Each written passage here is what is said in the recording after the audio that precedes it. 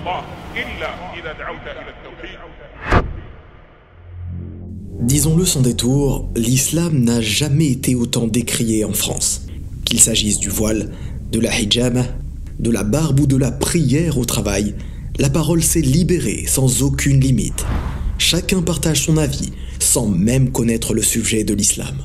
En réalité, chacun partage son avis pour préserver ses passions. Des passions bien souvent illégales moralement ou éthiquement, mais qui nourrissent un cœur malade, avide d'excès, de biens matériels et de libertinage.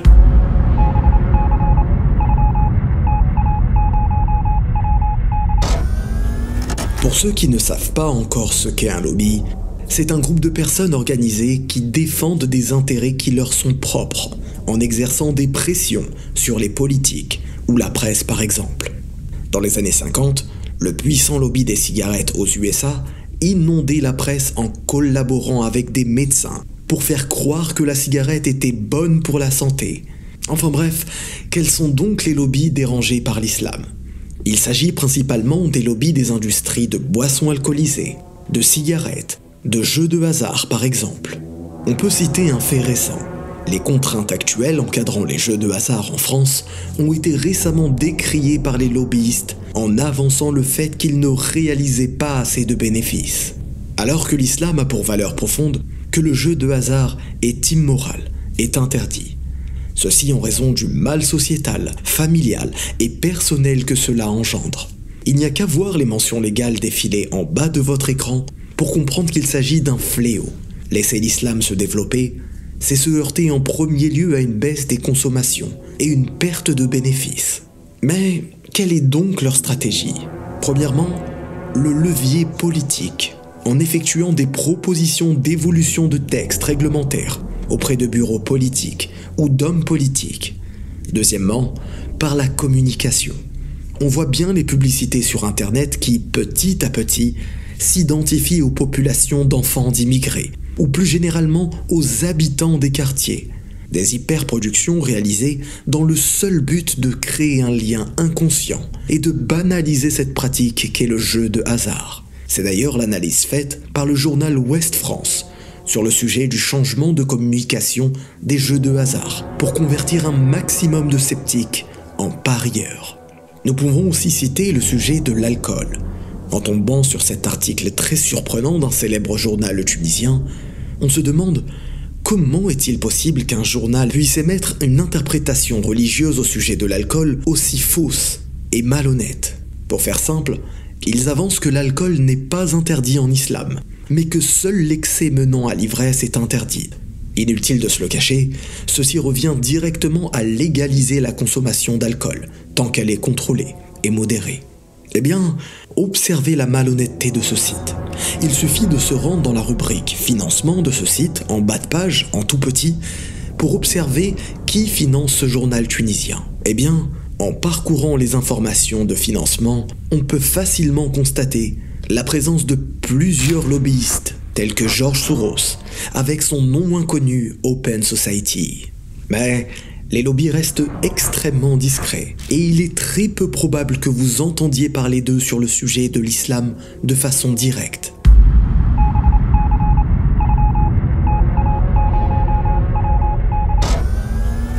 On a tous entendu parler du récent film parodique sur la vie de Mahomet. Et si je dis Mahomet, c'est volontairement car Mahomet n'est pas un nom connu d'un quelconque prophète en islam. Non, que les prières et le salut soient sur notre noble prophète Muhammad sallallahu.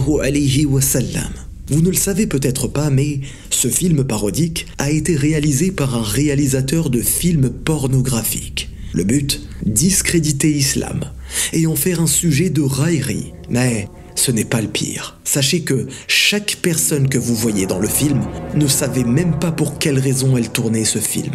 Ces personnes ne savaient même pas que leurs propres paroles allaient être doublées et faussées et que le montage était fait pour se moquer de l'islam. Et oui, pour l'industrie du X, l'islam n'est pas non plus le bienvenu. Encore plus grave, on vous dira très souvent que les pays musulmans sont les plus gros consommateurs de films X au monde. Mais ne tombez pas dans le panneau. Ceci est totalement faux. Ceci est fait pour banaliser ce fléau auprès des populations musulmanes. Oui, en 2022, le classement des pays les plus consommateurs de ce fléau était par ordre chronologique les États-Unis, l'Angleterre, la France, le Japon, le Mexique, l'Italie, l'Allemagne, le Canada, les Philippines et le Brésil en dixième position. Sur un autre sujet concernant la perversion, comment ne pas citer le brouhaha médiatique qu'engendre le port des abayas, des djilbab, ou plus simplement du hijab?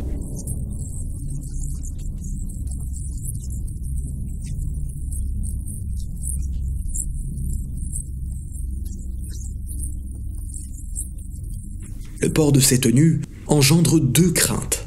Premièrement, on le sait, l'adolescence est une période pendant laquelle beaucoup de jeunes personnes sont en recherche de modèles, d'appartenance et d'informations spirituelles. Alors, pour éviter que ces jeunes personnes aient l'opportunité d'avoir le libre choix de leurs convictions religieuses, des lois sont de plus en plus mises en place pour contrôler et réduire les possibilités de s'habiller librement. Deuxièmement, le retour aux mœurs liées à la pudeur, c'est-à-dire le fait qu'hommes et femmes reviennent à des tenues dénuées de connotations sexistes ou néo-exhibitionnistes. Et ceci ne convient pas du tout à une large catégorie d'hommes qui apprécient s'adonner au voyeurisme, à l'aliénation des vraies libertés de la femme ou à son rabaissement à un statut d'objet. Bien sûr, tous se cachent derrière le fait de penser que ces femmes ne portent pas le voile par choix, mais par contrainte ce qui est totalement faux. En bref, depuis toujours on impose à des femmes de ne pas s'habiller librement. Le politologue Philippe Portier a d'ailleurs été interrogé à ce sujet par les équipes de France Culture à travers la question suivante. Le voile est-il une obsession française? Et Philippe Portier de répondre En partie oui. Pourquoi? Parce qu'il est musulman et que nous, société française, nous avons un contentieux qui n'est pas encore réglé avec l'islam du fait du moment colonial.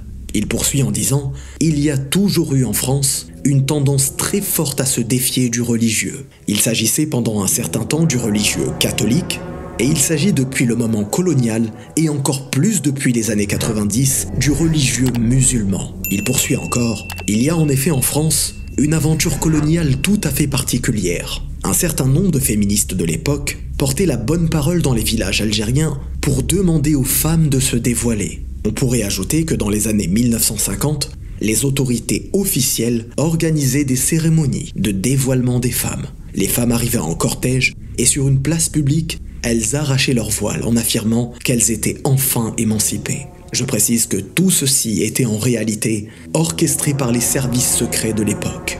D'ailleurs, de nombreuses vidéos de propagande faisaient croire que la France participait à l'épanouissement des musulmans dans ses territoires coloniaux. Sur la terre africaine, la silhouette des minarets et des mosquées manifeste hautement combien la France a tenu au respect et à la protection des croyances et des traditions religieuses des peuples musulmans qui vivent à son nom. Et voici témoignage particulier de l'attention du gouvernement français. Voici le gouverneur général de l'Algérie, M. Yves Châtaigneau, qui vient souhaiter bon voyage aux pèlerins. De saluer ici, au nom du gouvernement français, ceux qui ont le privilège de partir aujourd'hui pour le pieux pèlerinage au lieu saint de l'islam que le Coran prescrit aux musulmans d'accomplir une fois au moins durant leur vie. La France tout entière s'honore d'avoir ouvert aux croyants d'Afrique du Nord les portes de la terre sacrée. Bref, oui, l'islam a pour principe, entre autres, de préserver la valeur de la femme.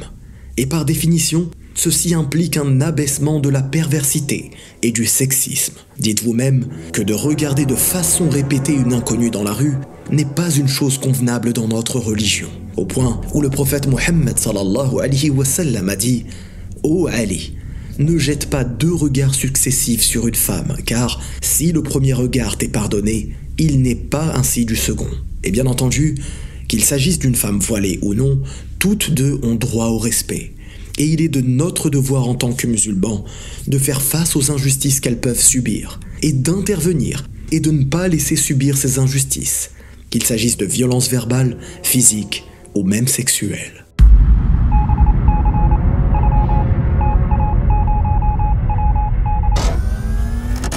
L'islam prône la stabilité familiale, indéniablement synonyme de stabilité de toute la société. Ainsi, nous avons tous déjà entendu parler de l'égalité homme-femme. Attardons-nous un instant sur ce concept utopique.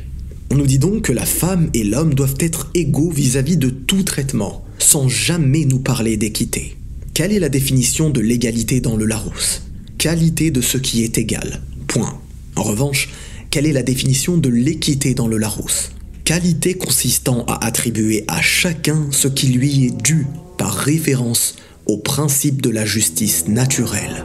Je vous donne un exemple d'égalité homme-femme, mais profondément inéquitable.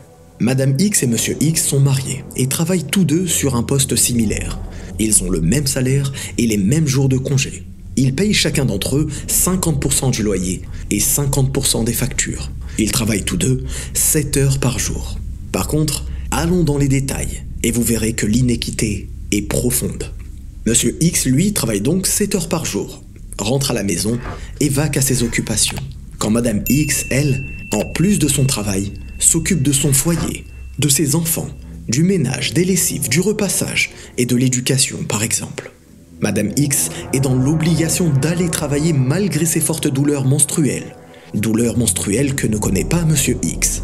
Lors d'une grossesse, sur ses 9 mois de gestation, elle ne bénéficie que de 6 semaines de congé prénatal. Encore une fois, grossesse que ne connaît pas Monsieur X. Et lorsque cette femme préfère rester à la maison pour se reposer et s'occuper de ses enfants, un an ou deux ans après sa grossesse, elle perd alors tous ses droits d'évolution au travail et elle ne cotise plus pour sa retraite. Alors, est-ce donc ça l'égalité? En tout cas, ce n'est pas équitable. Tout ceci, sans compter que 80% des familles monoparentales sont des femmes seules élevant leurs enfants. L'islam prévoit bien au contraire que la femme a le droit de travailler, oui, tout comme elle a le droit de ne pas travailler. 100% de l'argent qu'elle gagne au travail lui appartient et elle n'est absolument pas tenue de payer 50% de quoi que ce soit. Plus encore, elle n'a pas à payer ne serait-ce qu'un centime de facture. Son mari a pour obligation de la loger, de la vêtir convenablement, de la nourrir et de subvenir à l'ensemble de ses besoins. Telle est la vraie position de l'islam vis-à-vis de la femme. Sur le sujet des menstrues, en Indonésie, le pays comptant le plus de musulmans au monde, une loi adoptée en 2003 prévoit un ou deux jours de congé payés en début de cycle menstruel en cas de règles douloureuses. La loi oblige seulement les employés à notifier à leur employeur la date de prise de ces congés. Mais ce mode de vie prôné par l'islam n'est pas celui qui convient à une société capitaliste. Je ne vais pas refaire l'histoire, mais pour faire simple, afin de booster l'économie et la productivité des entreprises, le capitalisme a progressivement mis en place une stratégie visant à pousser la femme à travailler. Il est certain que la main-d'œuvre se retrouve doublée du jour au lendemain. Mais, à côté de cela, le droit de la femme se retrouve lui aussi poussé du jour au lendemain au-dessus d'une falaise. On peut penser que la liberté de la femme engendre le fait qu'elle n'a plus besoin de l'homme et qu'elle souhaite elle-même s'émanciper et vivre seule, célibataire avec des enfants. Mais, encore une fois, ceci est totalement faux. Dans la majorité des cas, les femmes à la tête de familles monoparentales décrivent un abandon de leur ex-conjoint. Pourquoi donc ces hommes abandonnent-ils leurs femmes? Eh bien car ils se déresponsabilisent en se disant ⁇ de toute façon elle travaille, elle va se débrouiller. Et au pire, elle aura des aides sociales. Et ceci est une triste réalité. N'oubliez jamais que l'égalité n'est pas forcément synonyme d'équité.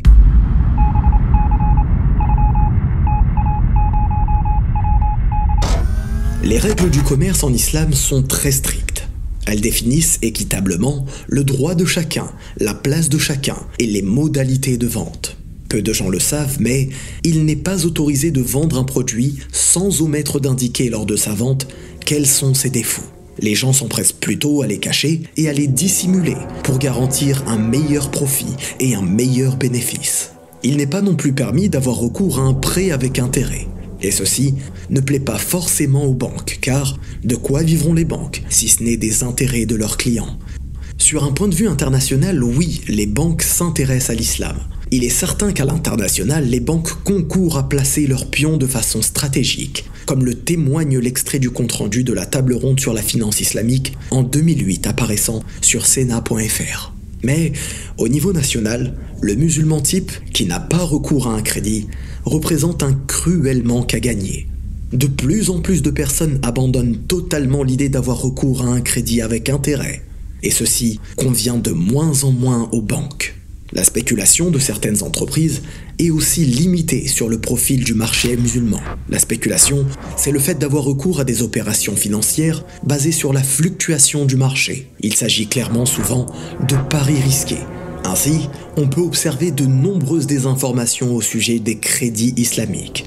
Des diffusions en masse d'informations concernant ces crédits qui sont en réalité haram car ils contiennent malgré tout en partie de l'intérêt ou une assurance. Les banques contrôlent aussi de plus en plus la totalité des transactions. De plus en plus de banques demandent un justificatif systématique pour tout retrait d'espèces ou virement, même si ceci n'est pas légal.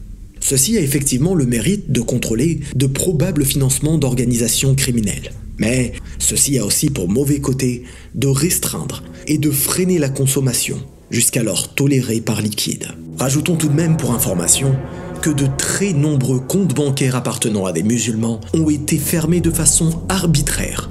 Les raisons? Principalement après avoir participé à des cagnottes pour la construction de mosquées en payant par carte bancaire ou par virement. Enfin, oui, l'islam est un frein clair au développement économique capitaliste à bien des égards, et ceci dérange grandement les systèmes bancaires.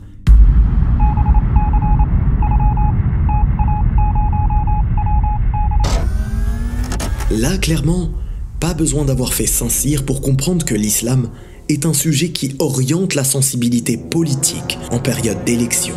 L'islam, c'est clairement le sujet qui ne touche personne, mais qui malgré tout suscite la curiosité, l'inquiétude et la peur. Pourquoi l'islam suscite la peur? Car dans les blockbusters hollywoodiens, le méchant russe a été remplacé par le méchant arabe musulman, et ce, même si la majorité des musulmans ne sont absolument pas arabes. Pourquoi l'islam suscite la peur? Car le terrorisme y a été faussement associé dans les esprits et dans les idées, à travers l'abattage médiatique de ce sujet.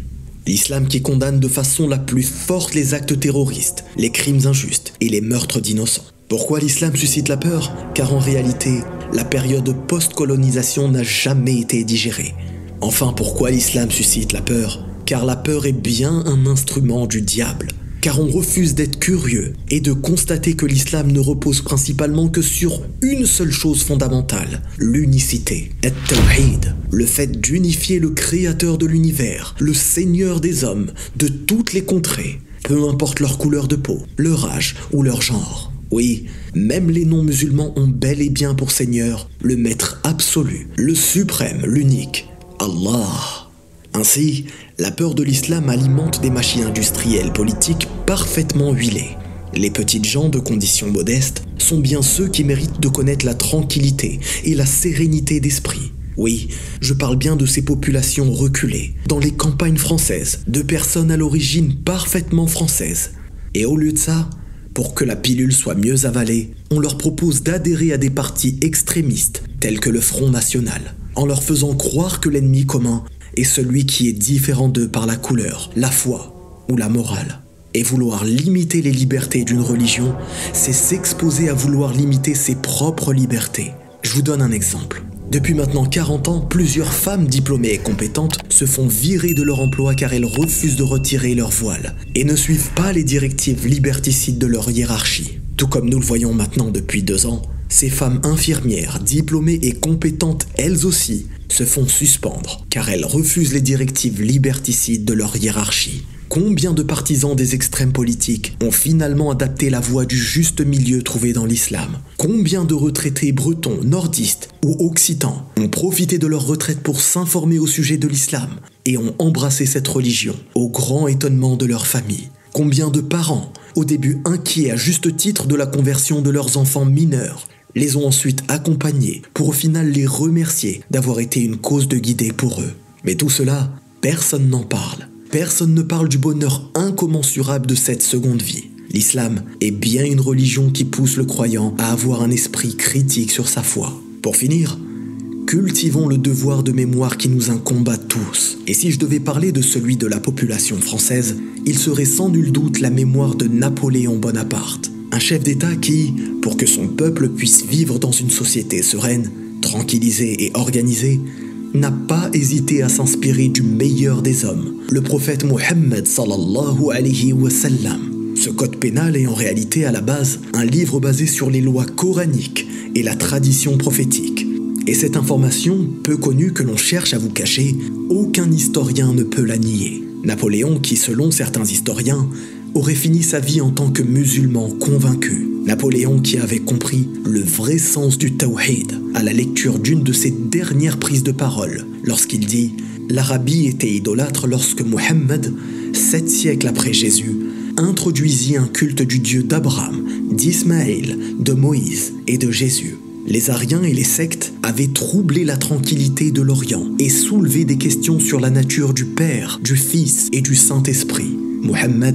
Déclara qu'il y avait un Dieu unique et qu'il n'avait ni Père ni Fils, que la Trinité impliquait l'idolâtrie, que chaque personne musulmane ou non musulmane soit comblée du meilleur des bienfaits que connaisse cette terre, que le Seigneur des hommes apaise leur cœur et le remplisse de joie et de satisfaction, de sérénité et de contentement. Je vous dis à très bientôt pour une nouvelle vidéo.